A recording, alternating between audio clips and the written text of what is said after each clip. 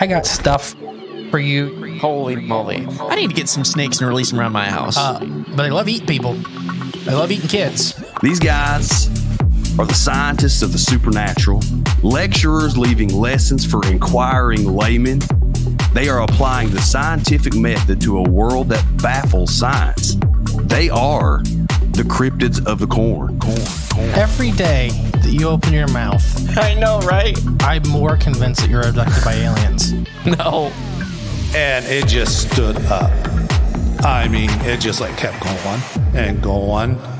And she goes, What the? These are idiots. I was laughing reading this because I already knew how you would feel. Idiot. What part of the story fits your balloon? Well, This isn't a UFO. But who else has big black wings and red eyes? um, Batman. Well, Mothman. Oh, yeah, Mothman. Well, everyone, I think we know exactly what it is. So say it all with me. It was the Sandhill crane. Would you try it? No. You wouldn't eat it? No. Why? Because they're probably toxic. There'd be a lot of poop in my pants. I've seen a six foot alligator go swinging through the air and slam into a tree.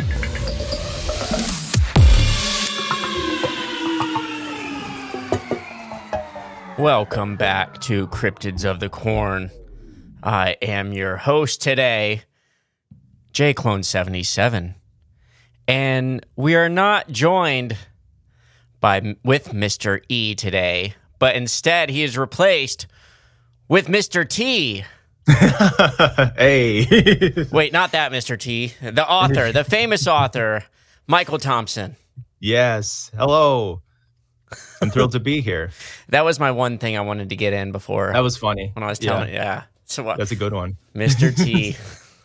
I pity the fool who don't read your books. Thank you. Yeah, I'm dumb. So uh, today, yes, I, again, no Mr. E today, but I am to mention while we're here, we are uh, our Kickstarter is at this point of recording 26% funded for our Trinity's Alps Giant Salamander uh, expedition. Um, if you have not seen our Kickstarter video or heard about what we're doing, we are traveling.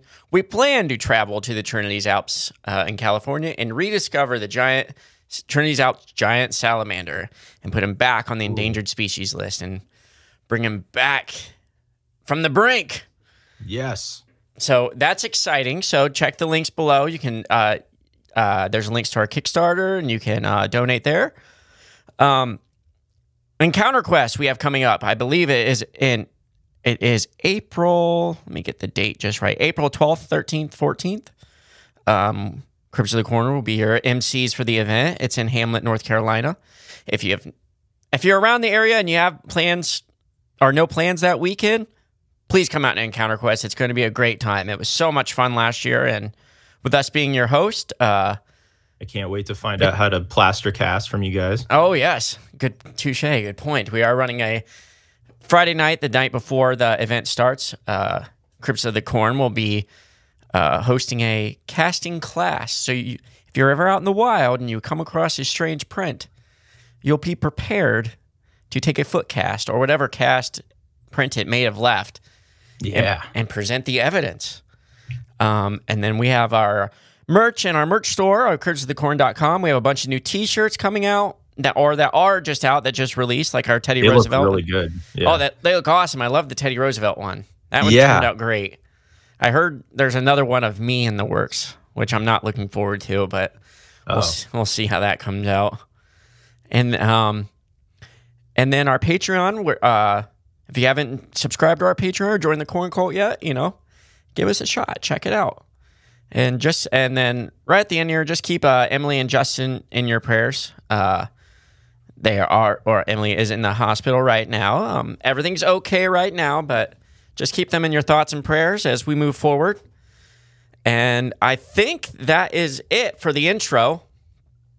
So now let's get down to it, Michael. Okay. So today we're talking about uh, some cool, a very cool creature here. Um, one of which that was featured in my brand new book, Winslow Hoffner's High Sailing Adventures.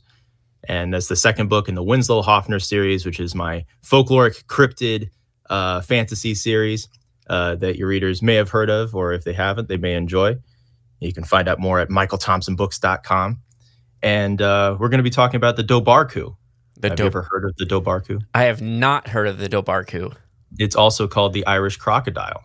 Ooh, okay. Ooh, Irish. Yeah. We just had St. Patty's Day recently too. Yeah, yeah, Very yeah. fitting. So it's definitely it is fitting. It's it's in the air for sure. Um, uh, the Dobhar-chú is also called the Doyarku, the Dur the Duragu, the Duragao, the Anku, the Irish crocodile, the Master Otter, or the King Otter. That's right. Surprise! It's not a crocodile. aha, twist. yes, it's a big old otter. Um, in most in most interpretations of it, in most uh, sightings, at least it would seem. Going back to ancient Ireland, there existed rumors of a bloodthirsty creature, a carnivorous, hound-like monster capable of chasing down its victims and ripping them to shreds, on land or in the water. And unlike most cryptids that we are often seen uh, skulking the edge of our known world in solitary fashion. This one hunts in pairs, Jay.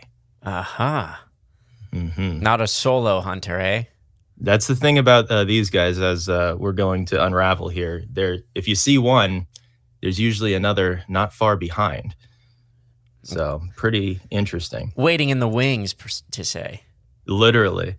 Uh, the Dobhar-chú is described as either a large uh, ferocious otter or even a canine fish hybrid, and it's the size of a dog or larger. Where where exactly are these? Or where you know where are- where's the story come from? Ireland, yes. Okay. Uh, and specifically, um, uh, there's different locks in Ireland. Um, Glenade Lock is one. We've got a little poem here that was featured in uh, Karl Shuker's uh, book, uh, The Beasts That Hide from Man. And this is by an anonymous poet, but it was from the early 1900s, it's estimated. Okay. But by Glenade Loch, tradition tells 200 years ago, a thrilling scene enacted was, to which as years unflow, old men and women still relate, and while relating dread, some demon of its kind may yet be found within its bed. Ooh. This is a really scary uh, cryptid. Um, most of the most of the encounters with this thing uh, involve some kind of blood. Oh, okay, wonderful. Yes. um, but it has uh, some interesting properties to it. It's said that it could be mystical, Okay. Jay. Could so be. In, in some stories, it has uh, magical properties. It can charge really fast and headbutt boulders in half. Um, it has a pelt that can offer protective properties if you uh, manage to slay it. And so there is some there's some benefit to having a little piece, even an inch of Dobhar-chú uh, flesh on you, as it could protect your ship from sinking, keep your house from falling down, and protect the wearer from any kind of harm. So it's like a good luck charm. Yeah, it's like a lucky rabbit's foot encrypted form. Okay.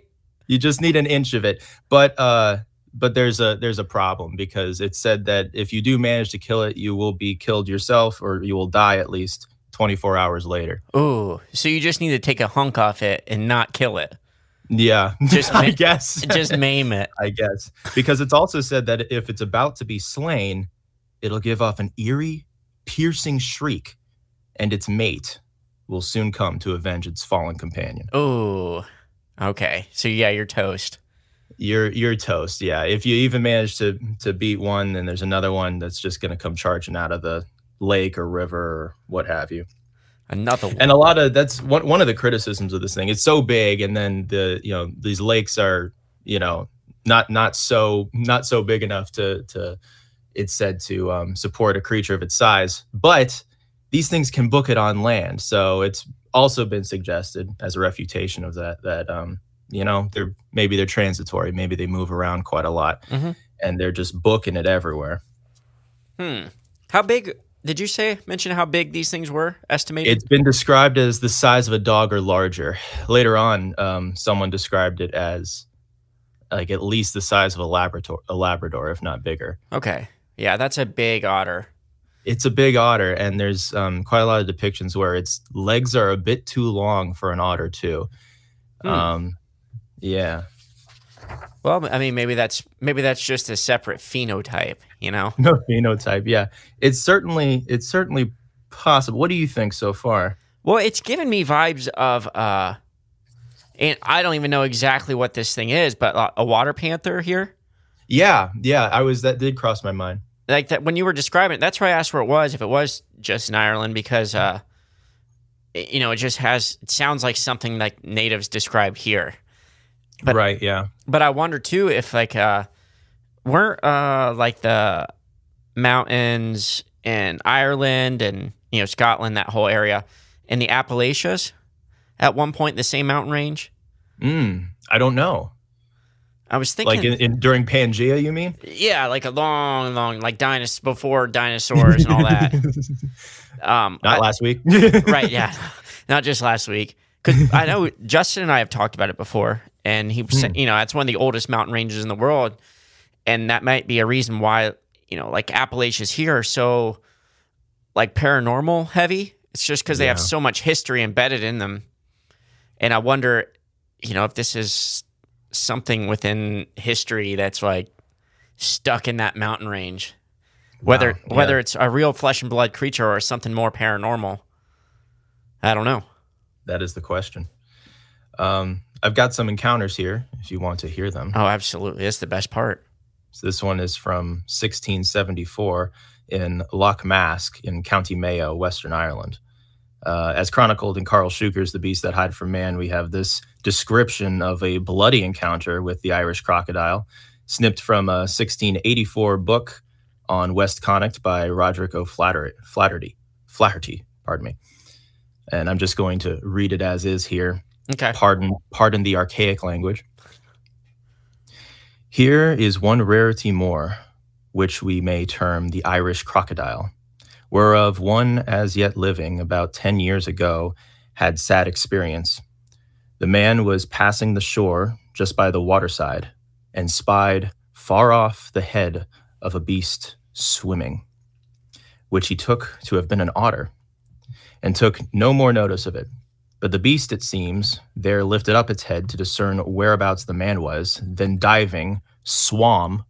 That's, I guess, a weird past tense of swam with an O. Oh, swam underwater till he struck ground, whereupon he runned out of the water suddenly and took the man by the elbow, whereby the man stooped down and the beast fastened its teeth on his pate.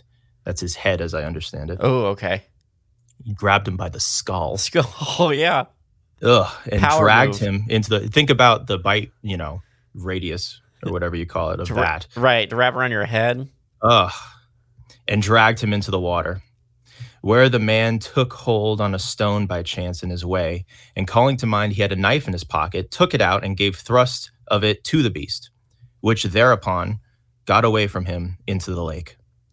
The water about him was all bloody, whether from the beast's blood or his own, or from both, he knows not. It was the pitch of an ordinary greyhound, of a black slimy skin without hair, as he imagined. Old men acquainted with the lake do tell there is such a beast in it, and that stout fellow with a wolf dog, along with him, met uh, the like there once, which after a long struggling went away in spite of the man and dog, and was a long time after found rotten in a rocky cave of the lake, as the water decreased. The like, they say, is seen in other lakes in Ireland. They call it Dov- Dovarku, i.e., a water dog, or Anku, which is the same. So Mhm. that's what the name translates to. Water Um, dog. Yeah, like water hound uh, in Gaelic. Oh, sweet. I like that old about that? old language, you know, too. yeah, Why it makes we? it a little scarier, doesn't it? it does. Why did we get away from that? I don't know. so that's one of the uh, descriptions of the colorations of this thing.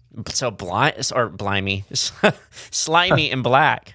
Slimy and and and dark. Uh, this guy said the color of a greyhound. Um, okay.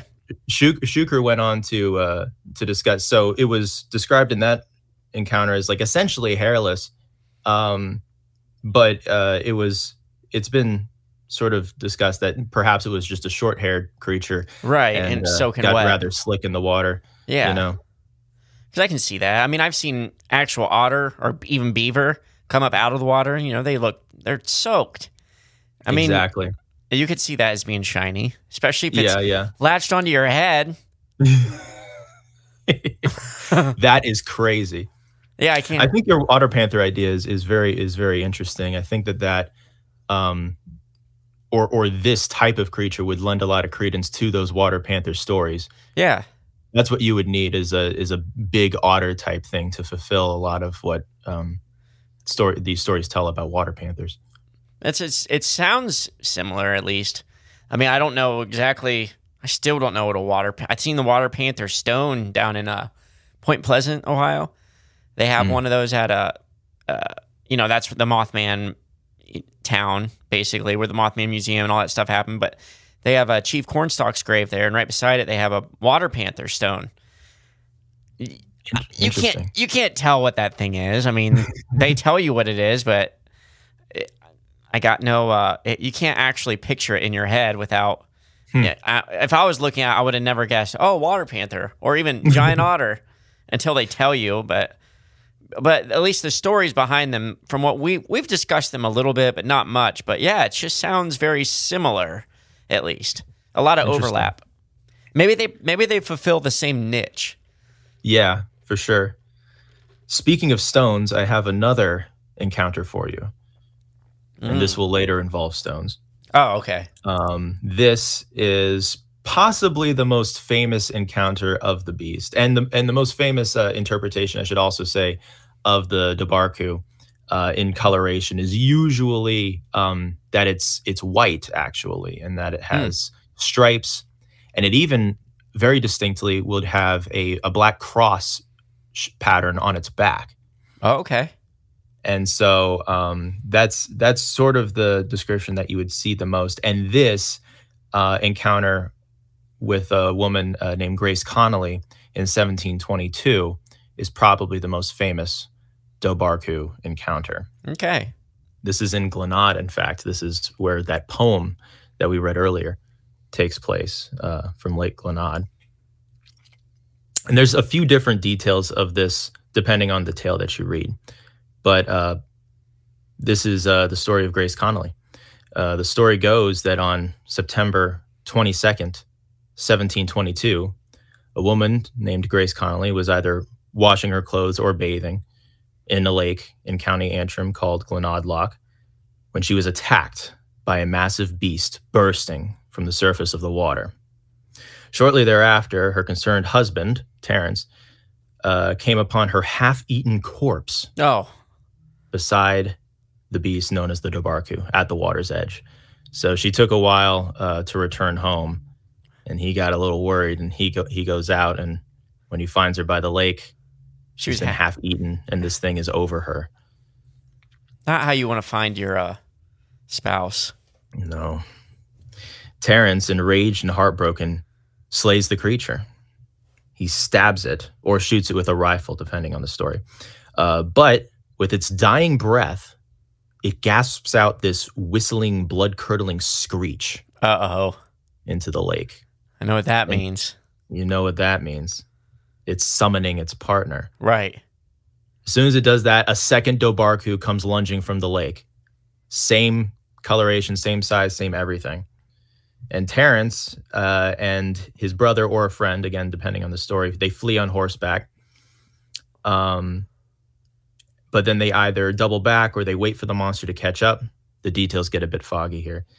Uh, and at a more opportune time, they sort of uh, ambush the creature. They they set upon it again and uh, successfully stab it to death. Oh, nice.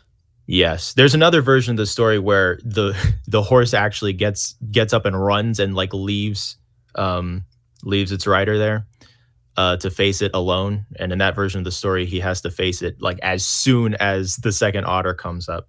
Um, but yeah, that's the that's the that's the great irony there. Um, the the horse ran away to a um, to a village called uh, Garanard, and its name means bad horse. was was it named that before or after this story? I, I believe after. Okay, that'd make a lot more Named sense. after the um the abandoning horse. Yeah. I mean, what do you blame him though? There's a Dobhar-chú coming after you. I would have ran. Yeah, uh, it, yeah, probably, probably was a good idea. But um, this husband, he went full John Wick on this otter, and so in uh, to avenge his wife, he he takes out the first otter, but then the second otter, to avenge its partner, goes after the guy. Right. And then thank thankfully for for Terrence, uh, Terrence McLaughlin um, is believed to be his name. He managed to get the upper hand, which apparently is quite a rare feat when facing a Dobhar-chú. he must be a tough warrior. He's probably got some history or legends l- written about him besides this one. Certainly. What What do you think about this encounter? So, I mean, entirely different uh, pattern, I guess, or color. Right. Um, but same same old behaviors, you know. Um, I'm glad he was able to get the upper hand though, so we can at least hear the story. But I wonder what made these guys different, you know, with having that different uh, uh, color pattern on them. You know, I, I just I wonder if it was completely different creatures. There's been, um, interestingly enough, and there, and there's like one other uh, thing I'll go into. They each seem to have uh, different patterns. This is co- probably the most common, or or at least the most famous and distinct, with this cross-shaped, um, cross-shaped uh, stripes on the back, and it, and mostly white. Mhm. Um, and in most versions of the story, you'll find that it was a, a white creature, pale creature, um, with the stripes, and then black-tipped ears, and um, and then this black cross. Almost like a, a lemur, it sounds like, or something. Yeah, yeah, kind of Zoboomafoo. yeah. He's not. Yeah, that that's the friendly version. They changed over time. good.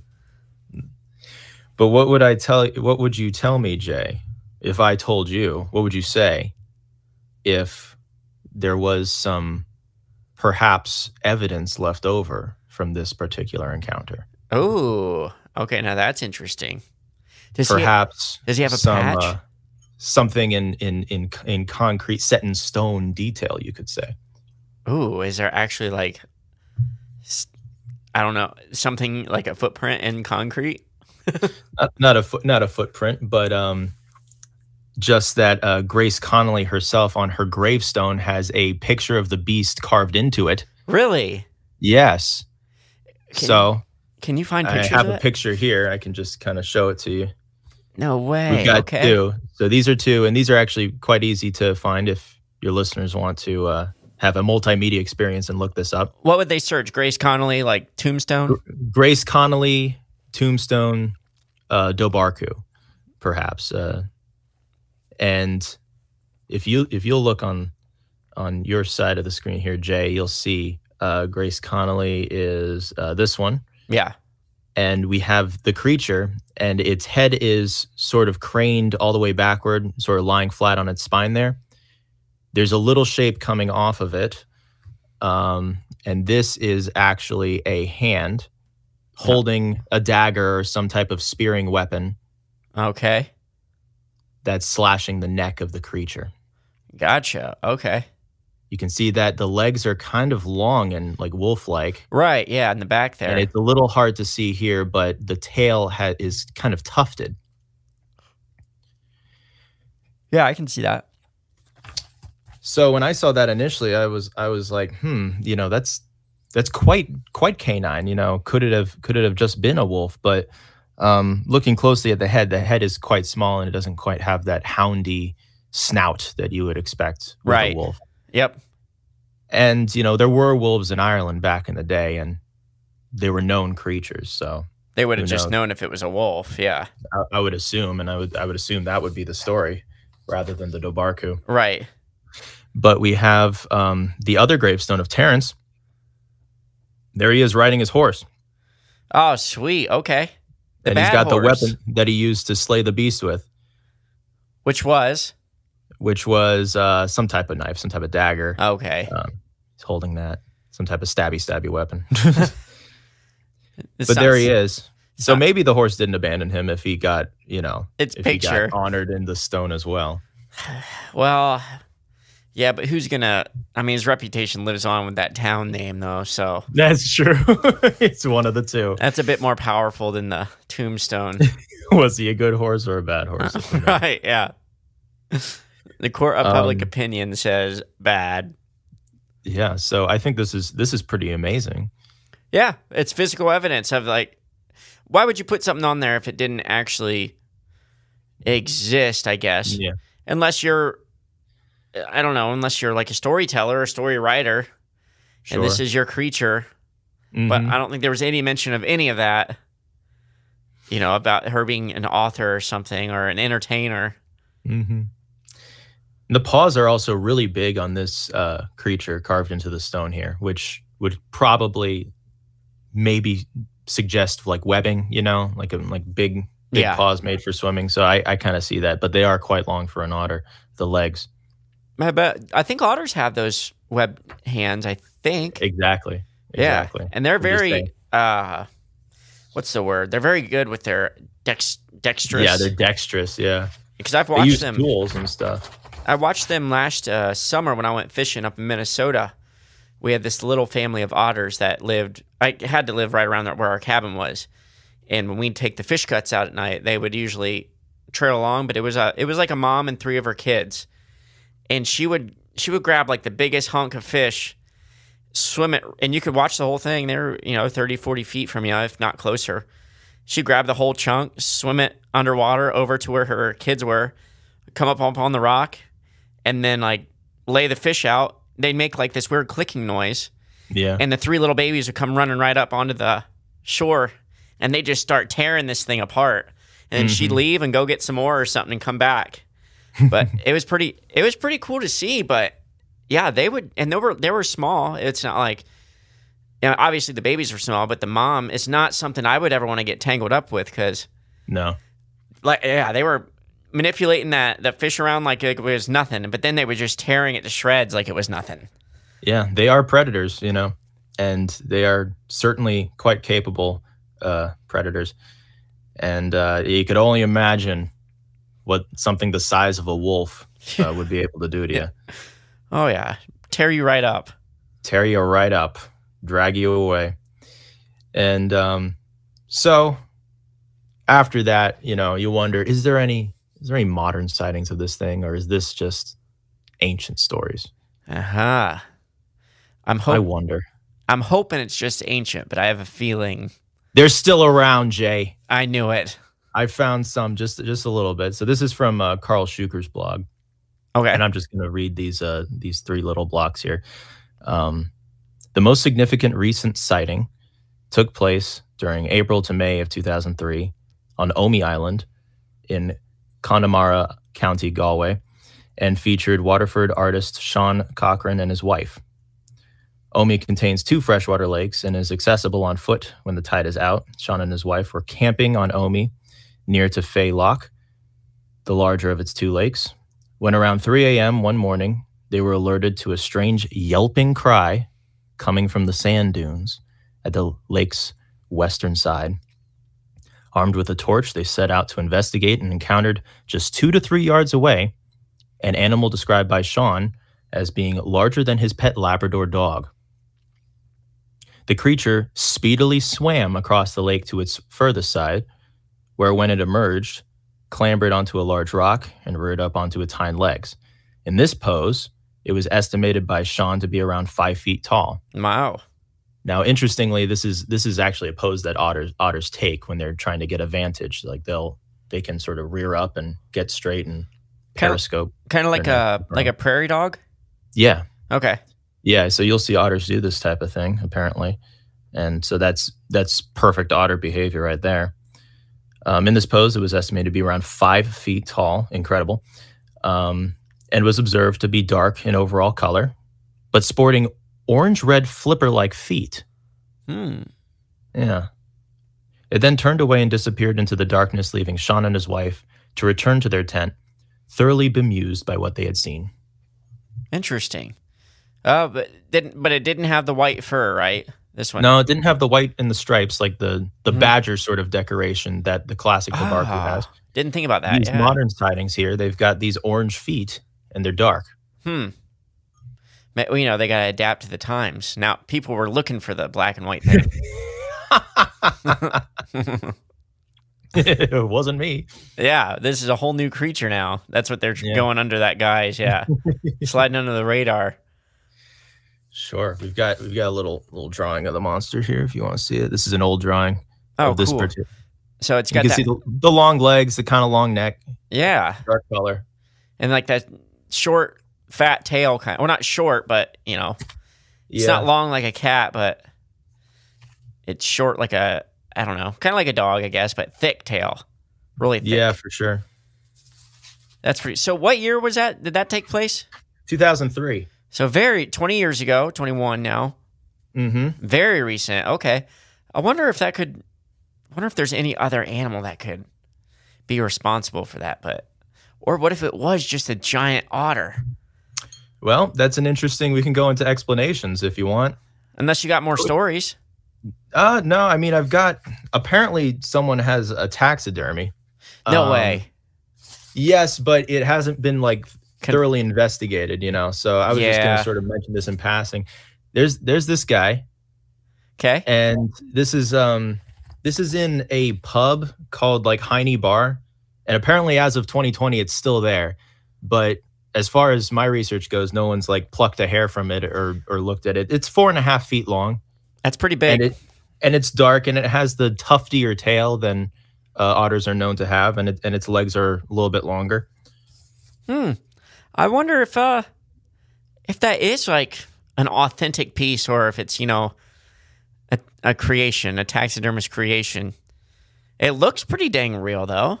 yeah it's at it's it's in uh it's in county mayo uh across molina um This is don't know if all that right this is all Ireland still. yeah this is ireland this it's an irish creature and um there have been other uh sightings i i heard rumblings of, of like scottish uh waterhounds as well but um in terms of these irish otters they're there seem to be you know all over the place and they got these different names I mean, waterhound just sounds frightening. it sounds pretty frightening yeah i mean Are, do you have any waterhounds? Did Winslow Hoffner encounter any? well the Dobhar-chú itself does make an appearance in Oh, he Winslow does. Hoffner too. yeah i chose the um i chose the sort of badger like striped decoration the pale Yeah. uh, otter the big hound sized one. And um winslow at a certain point in the book is sort of uh is sort of captured by some some uh bad guys. This is in his younger years and uh and uh, he encounters kind of this this underground uh bad sort of cryptid dogfighting situation and and the Dobhar-chús are involved um are made made to fight for you know the entertainment of the villains you Right. know? They're the pit bulls of the exactly underground cryptid fighting ring. Exactly. We've got them and an Icelandic, um, what in the book I call an Icelandic sea wolf. It's its true name. It means shell monster, uh, but it's Skeljaskrímsli, I think, is the pronunciation. And and so the Dobhar-chú are fighting that. So we've got the Irish crocodiles and the Icelandic sea wolves. yeah, being made to fight and bite at each other. I guess I'd, you know, I'd pay to get one of those tickets. I'm curious enough to know who would win at least. Mm. Buy the book. yeah, exactly.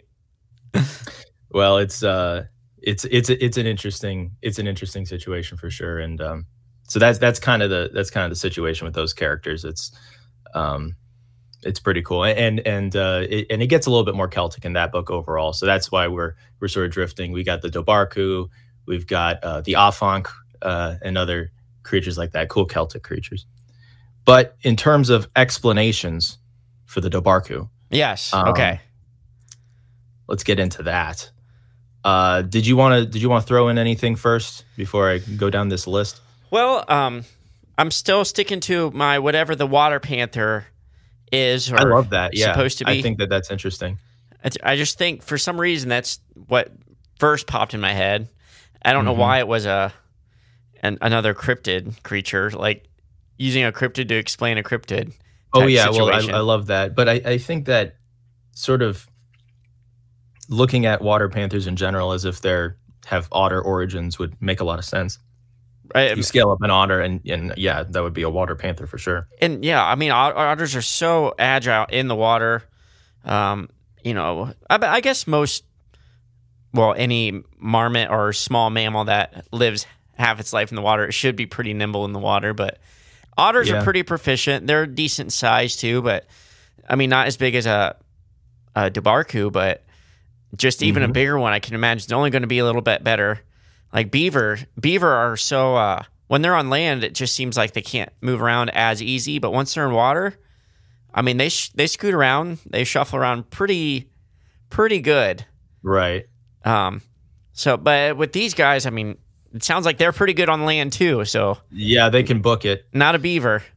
Not a beaver. We can we can we can rule that out Yeah, definitively. but I Um, I don't know exactly. Besides otter, I can't think of another animal that this might fall under. Well, let's talk about the otter situation. A, a large unknown otter, Yeah. perhaps.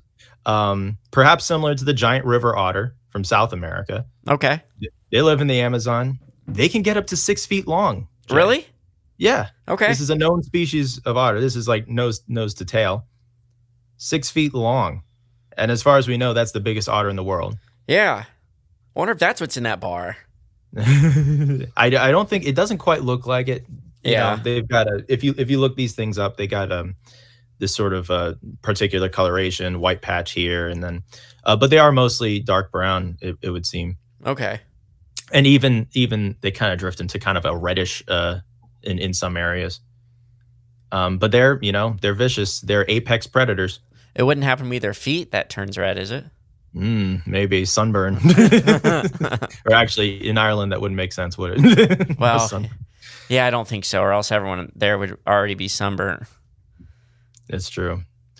Don't I know it, man? I, I've got that Celtic complexion. You and me both. I pretty I burn pretty easily. I'm whiter than sour cream. nice Weird owl reference. Yep, you caught it. yeah, yeah. So, um, uh, what about a seal? Ooh, some sort of what are those pinnipeds? Yeah, a pinniped. Hmm. But uh, the hands and the I feet know. and the rearing. Well, the rearing up. I mean, I've seen seals Mm. do that.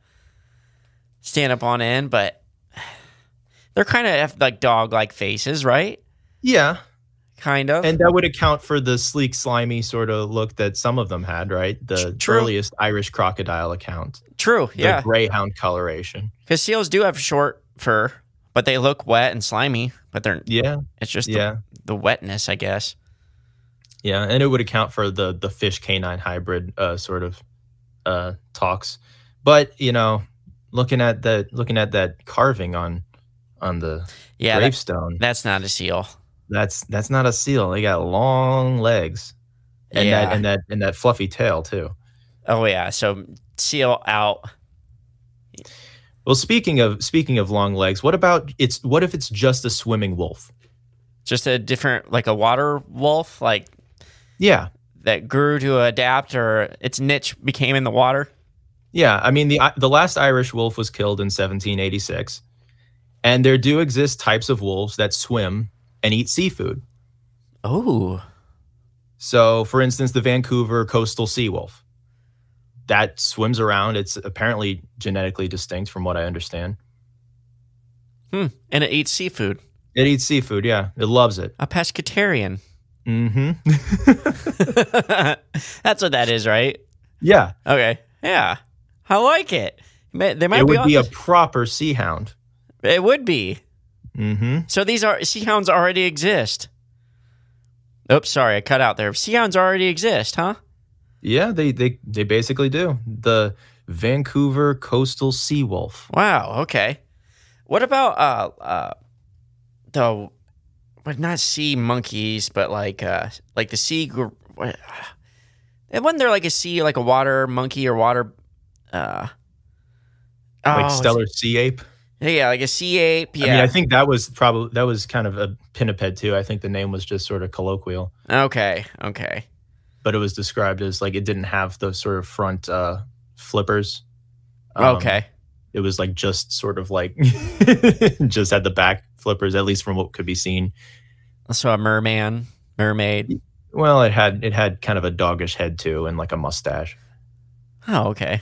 something like that. It's a funny guy. It's an ugly There's mermaid. questions about whether it was you know legit or not, or if he was like just having a laugh. But Yeah, it could be.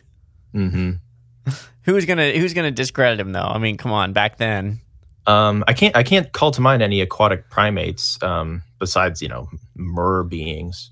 Can you? right? Yeah. I mean, I thought there was something that was like a primitive. I don't know. Ape, monkey, hominid. I don't know. That Mhm. spent a lot of its time in the water on the coast or something. But I may be getting that confused with something else. I do that. imagine like a swimming like something like a baboon? You know that would be scary. Yeah, it would be. hmm So speaking of scary, what if it's what if it is just something supernatural? Mm. That's why, the, uh, honestly, when I when uh, the that white and black one, um, that seemed like it could be to me for some reason. But if It it's has flesh, a cross on it too. yeah, which is just odd. I mean, but I guess I don't. I guess I could see that pattern in nature. I suppose. There's strange patterns in nature. I can see it. Yeah. Um, but with its, you know, its shriek for its partner, I mean, Yeah. it's like they're working in tandem. Is that really two things like that are that connected, or is it that's still that same kind of entity? There's just Yeah, I mean, you know, there are uh, there are stories of this thing with a strange connection to uh, the werewolf myth that you can only kill it with a silver bullet. oh, really? Okay. And- kind of interesting. And then it's good luck uh, fur patch too. Yeah, That's yeah. a little supernatural on top of it. However, Grace Connolly's husband was able to just stab the thing to death, so that kind of puts that to rest, if that story is to be believed. Right. True. Yeah. So it brings it back into the flesh and blood a little bit. Yeah. But did he uh did he one, did he save any of the fur? or two, did he uh was he did he meet his demise shortly after? I don't think it was shortly after. So maybe he Um, didn't keep the fur. That's why he was safe. You got to bury the thing know. and return it to earth. From everything that I've heard, I kind of think that this is still in the realm of otter. Mhm. and um and i think and all of the supernatural stuff could be, just be you know uh aggrandizement Right. i mean there's there's other stories that it could command like an army of a hundred regular sized otters and stuff that would be frightening. that would be cool The Otter Um, King. Yeah the otter king that's what they call that's why they call it that um the king otter but in very recent years a new species of otter has been discovered a Mm. prehistoric species of otter, Jay. Um, in 2017, in the Journal of Systematic Paleontology, uh, findings were published of a new species of prehistoric otter named uh, melilutra. And uh, its name melilutra comes from melis, meaning badger, and lutra, meaning otter. Aha. Is a badger otter. Which would explain the the white stripes. Well, I, I don't know if it uh, if it determines uh, its coloration, but I, I do like that connection. Um, the the it's mostly from its teeth that it sort of derived that name. Its skull and teeth had had blended characteristics. Um, it lived 6.24 million years ago in the Yunnan province of China, weighed approximately 110 pounds, Oh. and was roughly the size of a modern wolf. Okay. So a badger Mhm. is even more scary. badger otter it would be scary um, and uh, listen to this uh, uh, Denise Su phd says the reason why we chose these names and combined them together is because the species has a mix of characteristics of both these animals in its skull and its teeth and the natural history museum of los angeles paleontologist xiaoming wang explains it has the skull of an otter but shares many dental similarities with badgers which is why we called it Melilutra, which is Latin for badger otter. Hmm. Okay. From the Smithsonian Magazine, the fossil otter is larger than all living otters. This is according to Wang. Yet, although many meat-eating mammals evolve larger sizes to tackle tackle bigger prey, pardon me, tackle bigger prey, Wang says he expects that the size of Siamogale owes to a different cause. The mammal's teeth hint that Siamogale was a mollusk eater, Wang points out, similar to modern sea otters. But while sea otters use rocks to crack open their hard shelled food, it's unlikely that Simon did the same. Quote, perhaps our fossil otter has not learned to use rocks and instead applied brute strength to crush hard shells. So Just this one it. didn't use tools. It just its jaws were just that strong. Yeah. positing Huh. it just crushed things. right. Didn't need the tools. Didn't It- need them. It was the tool. Ah, yes, it was the right tool for the job. Huh. So okay. So we got. You know, this sounds very similar to the, to the uh, Dobhar-chú. it does. Hmm. So okay, what if the Dobhar-chú then is just a, uh, I guess a long lost, you know, on the brink of extinction animal that's just still somehow hanging on in the shadows. It could could be something like that. It could be what if it slipped through like a time slip Mm. from way back, you know, when and it's here now. That's Ooh. And maybe that's you know once you go through a time slip, you automatically get mystical powers and abilities. I think that just comes with the territory. So you- wow. I think I'm definitely not adding lore here, but Hey, that's that's I like that lore though. Keep going. I'm just trying to make it fit and work.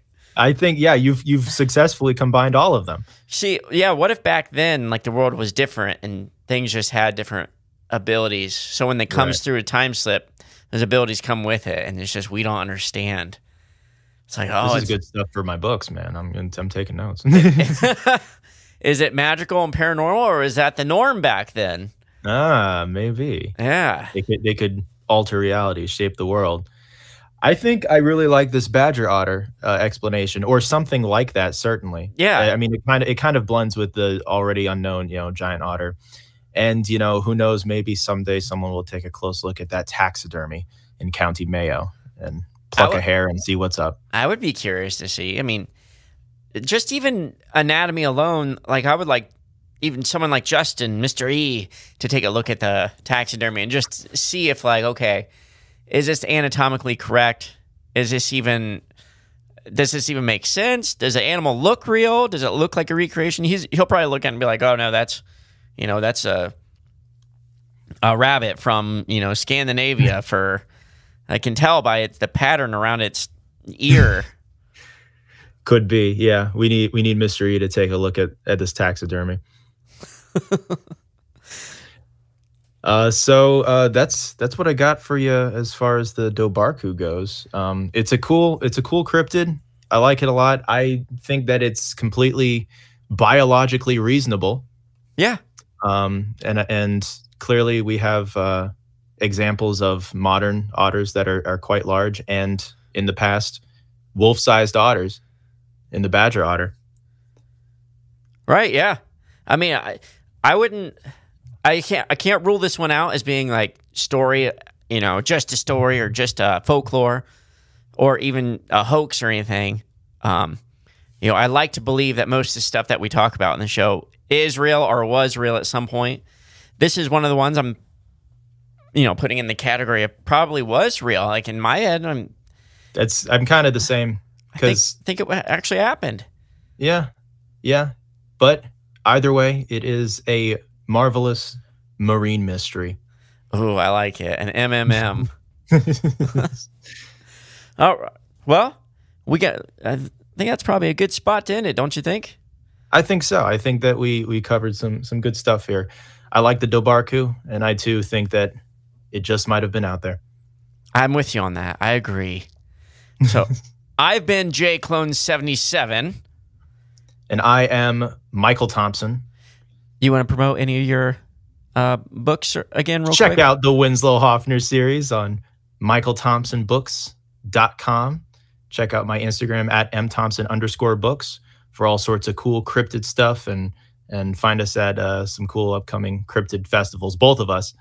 Um, I'll, I too will be at Encounter Quest and I'm looking forward to it. That's going to be a fun time. Woohoo! Yeah. I'm looking forward to seeing you there. I think that's the Yeah. next time we'll be seeing each other in person. Most definitely. I'll have all the Winslow books. I'll have the audiobook as well, which is now uh, on Kobo. So you can check that out at the top of my website, michaelthompsonbooks.com. Listen to the trailer and hear all the cool voices. I do all the voices in the audiobook. Oh, that makes it And even I'll have better. that in hard copy as well at the at the festivals we mentioned. Oh, good. So that's Encounter Quest, April 12th, 13th, and 14th in Hamlin, Yeah. North Carolina. Yeah. So hopefully we see you guys there. So for sure. until the next time, bye. Bye.